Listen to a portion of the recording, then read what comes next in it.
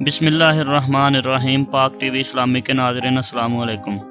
ناظرین، کرد قوم دنیا کی قدیم ترین قوموں میں سے ایک ہے، لیکن آج تک یہ قوم اپنا ایک آزاد ملک کیوں حاصل نہ کر سکی؟ ناظرین، ترکی، شام، عراق اور ایران میں بسنے والی اس قوم کی تاریخ کیا ہے اور یہ اس طرح دربدر کیوں ہے؟ یہ ہم آپ کو اس ویڈیو میں بتائیں گے۔ سب سے پہلے آپ ہمارے چینل پاک ٹی وی اسلامی کو سبسکرائب کریں اور ساتھ گھنٹی کے بٹن کو دبا دیں۔ اور ویڈیو پسند آنے کی صورت میں اسے لائک شیئر اور کومنٹ ضرور کریں۔ ناظرین، دنیا کے غیر مستحکم خطوں میں سے ایک مشرق وسطی جہاں آبادی کے لحاظ سے چوتھے نمبر کا نسلی گروہ کرد ہیں جو آج تک ایک قومی ریاست یا قومی شناخت بنانے میں ناکام رہے ہیں۔ یہی وجہ ہے کہ اگر دنیا کے کسی عام نقشے پر کردوں کو تلاش کریں تو آپ کو ان کا کوئی ملک نظر نہیں آئے گا۔ کرد ایک آزاد قوم نہیں ہے لیکن ایک اندازے کے مطابق ڈھائی کروڑ یا ساڑھے تین کروڑ کے درمیان اپنے آپ کو کرد کہنے والا گروہ ترکی، عراق، شام، ایران اور آرمینیا میں پھیلے ہوئے ہیں۔ ان کے بارے میں کہا جاتا ہے کہ یہ بابل و نینوا کے میدانوں میں اور پہاڑوں پر رہنے والے قدیم ترین لوگ ہیں۔ یہ علاقے اب جنوبی ترکی، شمال مشرقی شام، شمالی عراق، شمال مغربی ایران اور جنوب مغربی آرمینیا کہلاتے ہیں۔ لیکن کردوں کی سب سے زیادہ تعداد ایران، عراق اور ترکی کے متصل علاقوں میں رہتی ہے۔ اور اس کے علاوہ کردوں کی بڑی تعداد شام کے شمال مشرقی علاقے میں آباد ہے اور ان علاقوں کو عموماً کردستان کہا جاتا ہے۔ ناظرین، کردستان کے ہر ملک میں اس کے اپنے منفرد معنی ہیں۔ ایران میں کرد علاقوں پر مشتمل ایک صوبے کا نام ہی کردستان ہے، جبکہ عراق میں کردوں کے علاقے کو کرد خود مختار خطہ کردستان ریجنل گورنمنٹ کہا جاتا ہے، لیکن آئینی لحاظ سے یہ عراق کا ایک صوبہ ہے۔ اس کے علاوہ کردوں کی ایک اچھی خاصی تعداد ایران کے شمال مشرقی صوبے خوراسان میں بھی آباد ہے۔ مشرق وسطی کے کئی مسائل کی طرح کردوں کی ان مختلف ممالک میں تقسیم بھی پہلی عالمی جنگ کے بعد برطانیہ اور فرانس کے درمیان سن انیس سو سولہ میں ہونے والے سائکس پیکو معاہدے کا شاخ سانہ ہے۔ سائکس پیکو معاہدے کے تحت مشرق وسطی کو سلطنت عثمانیہ سے علیحدہ کرنے کے بعد برطانیہ اور فرانس کے درمیان بننے والے اثر و رسوخ کے دائرے میں تقسیم کرنا تھا۔ اس کے بعد مشرق وسطی کی شکل ہی بدل گئی۔ ناظرین، ترکی میں کرد علاقوں کے علیحدہ کردش خطہ ٹیری ٹوری قرار دیا گیا، لیکن ترکوں کی قومی حکومت نے اس کی مخالفت کی۔ اس کے بعد سن انیس سو تیئیس کے معاہدہ لسین میں ترکی کی سرحد کو عراق تک تسلیم کر لیا گیا، جس کے نتیجے میں کردوں کی الگ ریاست کی تمام امیدیں ختم ہو گئیں۔ کرد عراق، شام اور ترکی میں تقسیم ہو گئے۔ اس معاہدے کا بعد میں اثر یہ ہوا کہ ترکی نے کردوں کو بنیادی شہری حقوق دینے سے ہی انکار کر دیا۔ اس طرح کرد سن نوے کی دہائی کے آخر تک شہری حقوق سے محروم رہے۔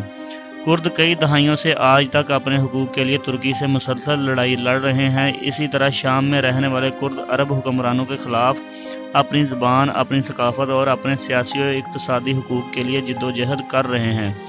شام میں خانہ جنگی تک کردوں کو مکمل رائے دہی کے تمام حقوق حاصل نہیں تھے، لیکن اب جبکہ انہوں نے شام میں کرد آبادی والے علاقوں کو دولت اسلامیہ سے جنگ کر کے آزاد کرایا تو انہیں ترکی کے حملے سے خطرہ ہے۔ ناظرین، صدام حسین کے دور میں عراق میں کردوں پر بدترین مظالم ڈائے گئے۔ صدام حسین پر کردوں کی نسل کشی کرنے کے الزامات عائد کیے گئے۔ اسی دور حکومت میں کردوں پر اسی کی دہائی میں کیمیائی ہتھیار بھی پھینکے گئے، جس سے ہزاروں کرد شہری ہلاک ہوئے۔ اور جب ایران کے شمال مغرب کے سرحدی علاقوں میں رہنے والے کردوں نے سن انیس سو چھیالیس میں ایک آزاد کردستان بنانے کی کوشش کی، تو انہیں اس وقت کی ایرانی حکومت نے سختی سے کچل دیا۔ ناظرین اسلام سے پہلے کردوں کی ایک آزاد حکومت کے اثار کم نظر آتے ہیں، لیکن جب خلافت عباسیہ کمزور ہوئی تو جن چند گروہوں نے اپنی خود مختار سلطنتیں قائم کی، ان میں صلاح الدین ایوبی بہت مشہور ہیں۔ اس طرح تاریخ میں سب سے مشہور کرد حکمران صلاح الدین ایوبی ہیں۔ منگولوں کے بغداد پر حملے کے بعد جب پھر سے مسلمانوں کو عروج ملا تو اس دور میں بھی کرد ایک ذیلی قوم کے طور پر خلافت عثمانیہ کا حصہ رہے۔ ان کی عثمانوی اہلکاروں سے جھگڑے ہوتے رہتے تھے، لیکن یہ اس وقت بھی ایران اور خلافت عثمانیہ کے زیر حکومت علاقوں میں تقسیم رہے۔ ناظرین کردوں کے ایک عالم ادریسی بدلیسی نے کردوں اور خلافت عثمانیہ کے درمیان ایک معاہدہ کرایا۔ اس معاہدے کے مطابق عثمانوی علاقوں میں رہنے والے کرد قبیلوں نے خلیفہ کی حاکمیت کو تسلیم کر لیا اور اس کے عوض خلیفہ نے ان قبائل کی خود مختاری کو مان لیا۔ اس طرح خلافت عثمانیہ میں اگلی کئی صدیوں تک کرد ایک خود مختار قوم اور خود مختار قبائل کی صورت میں پرامن زندگی گزارتے رہے۔ لیکن قومی ریاست کے مغربی تصورات مشرق میں بھی پھیلنا شروع ہوئے تو کردوں کے ایک سردار میر محمد نے سن اٹھارہ سو تیس سے لے کر اٹھارہ سو انتالیس تک ایک متحدہ کردستان کے قیام کے لیے عثمانویوں کے خلاف جنگ کی۔ کردوں کی ان کوششوں کی ناکامی کے بعد خلافت عثمانیہ کے ترک اہلکاروں نے کردوں کے علاقوں کو براہ راست اپنے کنٹرول میں لے لیا۔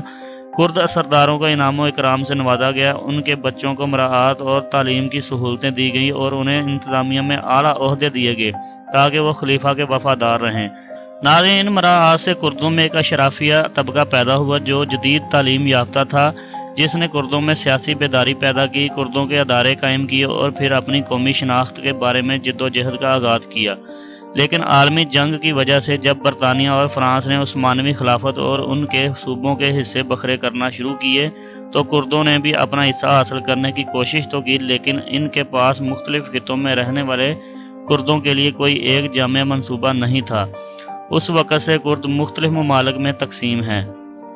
جب خود کو دولت اسلامیہ کہنے والی شدت پسند تنظیم نے شام کے شمالی علاقوں میں اپنا مرکز بنانا چاہا تو انہیں پہلی مزامت کردوں کی جانب سے ملی۔ ناظرین، جب دولت اسلامیہ کو سن دو ہزار چودہ میں عراق میں فتح حاصل ہوئی تو ان کا براہ راست صادم عراقی کردوں سے بھی ہوا۔ جب موسل اور اس کے ارد گرد کے علاقوں سے عراقی فوج ہتھیار ڈال کر پسپا ہو گئی تو عراقی ریاست کے خود مختار کردوں نے دولت اسلامیہ سے جنگ کرنے کے لیے پیش مرگا کہلانے والے اپنے ایک عسکری گروہ اسلامی شدت پسندوں سے لڑنے کے لیے تعینات کیے۔ لیکن دولت اسلامیہ کے جنگ جوؤں نے پیش مرگا کو بھی اس پسپائی پر مجبور کر دیا اور ان کے زیر قبضہ کئی ایک علاقے دولت اسلامیہ کے کنٹرول میں آ گئے، جن میں سنجار بھی شامل ہے۔ وہاں یزیدی اقلیتی رہتے تھے جن کی خواتین کو دولت اسلامیہ نے غلام بنایا۔ دولت اسلامیہ کے ان حملوں کے جواب میں امریکہ اور اس کی اتحادی طاقتوں نے شمالی عراق میں فضائی حملے کیے اور پیش مرگہ کو فوجی مشیر فراہم کیا۔ کردوں کی جماعت وائی پی جی جو ترکی سے تین دہائیوں سے لڑ رہی ہے اور جن کے عراق میں اڈے ہیں، وہ بھی پیش مرگہ کی امداد کے لیے پہنچی۔ ناظرین ستمبر دو ہزار چودہ میں دولت اسلامیہ نے شمالی شام کے ایک کرد شہر کوبانی پر حملہ کیا، جس سے لاکھوں کرد ترکی میں پناہ لینے پر مجبور ہوئے۔ دولت اسلامیہ نے ترکی کی سرحد کے قریب بھی حملہ کیا تھا، لیکن اس کے باوجود ترکی نے دولت اسلامیہ کے خلاف کوئی کارروائی نہیں کی اور نہ ترک کردوں کو اپنے ہم نسل شامی کردوں کی مدد کرنے کی اجازت دی۔ جنوری سن دو ہزار پندرہ میں تقریباً سولہ سو افراد کی جنگ میں ہلاکت کے بعد کردوں نے کبانی کو دولت اسلامیہ سے آزاد کرا لیا۔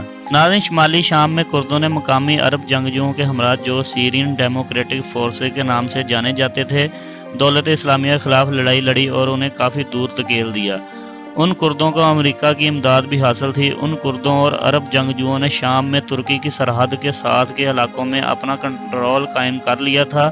اکتوبر سن دو ہزار سترہ میں سیرین ڈیموکریٹک فورسز نے دولت اسلامیہ کے دارالخلافہ رقہ کو آزاد کرا لیا اور پھر وہاں سے جنوب کی طرف پیش قدمی کرتے ہوئے انہوں نے شدت پسندوں کے دوسرے بڑے مرکز دیر الزور کو بھی آزاد کرایا۔ ناظرین، دولت اسلامیہ کا آخری قصبہ باغور بھی سیرین ڈیموکریٹک فورسز کے قبضے میں سن دو ہزار انیس میں آ گیا۔ اس فورسز نے اپنی کامیابی کا جشن تو منایا، لیکن خبردار کیا کہ جہادیوں کے سلیپر سیلز اب بھی خطے کے استحکام اور دنیا کے لیے خطرہ ہیں۔ ان کامیابیوں کے بعد سیرین ڈیموکریٹک فورسز کو ایک بڑی تعداد میں دولت اسلامیہ کے شکست کھانے والے قیدیوں سے نمٹنا پڑا۔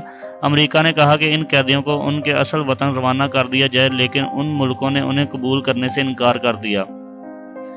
ناظرین، ان حالات کے پیش منظر میں اب کردوں کو ترکی کے حملے کا سامنا ہے، کیونکہ ترکی شام کے اندر بتیس کلومیٹر تک ایک محفوظ زون بنانا چاہتا ہے تاکہ شام سے آئے پناہ گزینوں کو واپس شام میں آباد کر سکے۔ شامی حکومت جسے روس کی حمایت حاصل ہے، وہ بھی کوشش کر رہے ہیں کہ وہ شام کے تمام علاقوں کا کنٹرول واپس حاصل کر سکے۔ ناظرین، ترک کردوں اور ترک ریاست کے درمیان بہت گہری تاریخ ہے۔ کرد ترکی کی آبادی کا پندرہ فیصد سے بیس فیصد حصہ ہے۔ کردوں کی کئی نسلوں کو ترک حکام کی زیادتیوں کا سامنا کرنا پڑ رہا ہے۔ کردوں کی کئی ایک بغاوتوں کی وجہ سے انہیں ترکی کے اندر ایک مرتبہ انیس سو بیس اور پھر انیس سو تیس کی دہائی میں علاقہ بدر کیا گیا۔ اس کے علاوہ کردوں کے ناموں اور ان کے لباس پر پابندی عائد کی گئی۔ کرد زبان کے بولنے پر کافی پابندیاں لگائی گئیں، یہاں تک کہ کرد نسل کے وجود کو بھی ماننے سے انکار کر دیا گیا اور انہیں پہاڑی ترک کہا جاتا ہے۔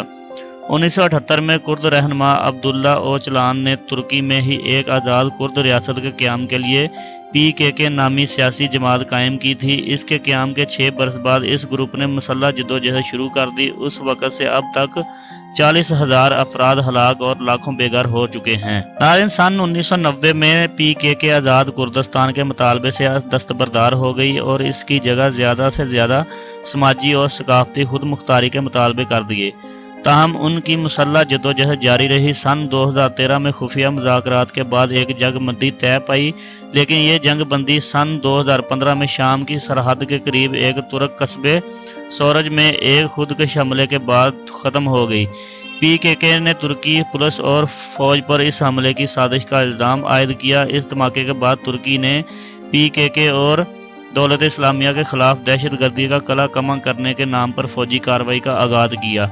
تب سے اب تک جروم مشرقی ترکی میں ہزاروں افراد ہلاک ہو چکے ہیں۔ ناظرین شام کے کرد بنیادی شہری حقوق سے کافی عرصے سے محروم رہے ہیں۔ سن ساٹھ کی دہائی میں تقریباً تین لاکھ کردوں کو شہریت نہیں دی گئی تھی۔ اس کے علاوہ کردوں کی زمینیں ان سے چھین کر عربوں میں تقسیم کر دی گئیں تاکہ ان علاقوں کو عرب قرار دیا جا سکے۔ جب بشار الاسد کے خلاف تحریک ایک خانہ جنگی کی صورت اختیار کر گئی تو کردوں کی جماعتیں غیر جانبدار رہیں۔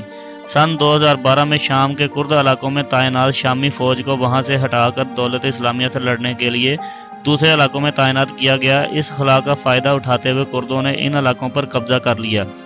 جنوری سن دو ہزار چودہ میں کردوں نے شام کے تین ضلعوں آفرین کبانی اور جزیرہ میں خود مختار انتظامیہ قائم کر لی۔ سن دو ہزار سولہ میں انہوں نے ایک وفاقی نظام قائم کیا جس میں انہوں نے دولت اسلامیہ سے آزاد کرائے گئے دیگر علاقوں کو بھی شامل کر لیا۔ عراق میں کرد کل آبادی کا پندرہ فیصد سے بیس فیصد حصہ ہیں۔ انہیں تاریخی طور پر ہمسائے ملکوں میں رہنے والے کردوں کی نسبت زیادہ حقوق حاصل ہیں۔ لیکن انہیں بھی ظالمانہ امتیازی سلوک کا سامنا کرنا پڑتا ہے۔ عراق میں حکومت نے سن انیس سو ستر میں کردوں کی اکثریتی آبادی والے تیل کے کنووں سے مالا مال علاقوں، خاص کر کرکوک میں کردوں کو زبردستی بے دخل کر کے عرب قبائل کو آباد کرنا شروع کر دیا۔ ایران اور عراق کی سن اسی کی دہائی کی جنگ کے دوران کردوں کی بے دخلی کا سلسلہ تیز سے تیز تر ہو گیا۔ عراقی حکومت سمجھتی تھی کہ کردوں کو ایران کی حمایت حاصل ہے۔ سن انیس سو اٹھاسی میں اس وقت کے عراقی صدر صدام حسین نے کردوں کے خلاف انتقامی کاروائیوں کا آغاز شروع کر دیا۔ انہیں کاروائیوں کے دوران حلابچہ میں کردوں کے خلاف کیمیائی ہتھیاروں کا استعمال بھی کیا گیا۔ ناظرین، جب عراق کو سن انیس سو نوے کی خلیج جنگ میں شکست ہوئی تو مصطفیٰ برزانی کے بیٹے اور ان کے مقابل کے ایک اور کرد رہنما جلال طالبانی نے کردوں کی ایک بغاوت کی قیادت کی تھی۔ جب صدر صدام حسین نے ان کی بغاوت کو کچلنے کے لیے طاقت کا استعمال شروع کیا تو امریکہ نے عراق کے شمال میں نو فلائی زون نافذ کر کے عراقی حکومت کو فضائی طاقت استعمال کرنے سے روک دیا۔ اس کے نتیجے میں کردوں کو خود مختار انتظامیہ قائم کرنے میں مدد ملی۔ برزانی کے بیٹے اور طالبانی کے درمیان طاقت کے اشتراک کے معاہدہ ہوا، لیکن سن انیس سو چورانوے میں دونوں میں کشیدگی پیدا ہوئی اور کرد علاقے ایک مرتبہ پھر سے آپس کی خانہ جنگی کا شکار ہو گئے۔ ناظرین، سن دو ہزار تین کے امریکہ کی زیر قیادت فوجی اتحاد نے اسلام حسین کی حکومت کے خلاف کارروائی کی تو عراق میں کرد علاقوں کی قیادت نے امریکہ کے ساتھ تعاون کیا اور اس طرح کردستان ریجنل گورنمنٹ کے ذریعے اپنی خود مختار حکومت قائم کی اور دوحق اربیل اور سلیمانیہ کے صوبوں کو بھی اپنی حکومت میں شامل کر لیا۔ بعد میں جب عراق میں نیا سیاسی آئین اور ڈھانچہ تشکیل پایا تو مسعود برزانی کو ریجن کا صدر منتخب کیا گیا، جبکہ جلال طالبانی عراق کے پہلے غیر عرب صدر منتخب ہوئے۔ ناظرین، یہ تھی ہماری آج کی ویڈیو۔ اگر پسند آئی ہو تو اسے لائک اور شیئر ضرور کریں۔